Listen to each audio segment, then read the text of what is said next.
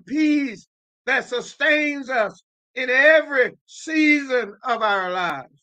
Again, John asked this morning, and I join with John in asking you, my beloved, what kind of peace do you seek? I seek that peace that surpasses all understanding. I seek that peace that keeps my heart and my mind secure.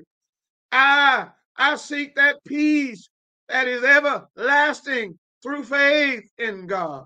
I seek that peace that when my world is tossed and turned, I know everything is going to be all right.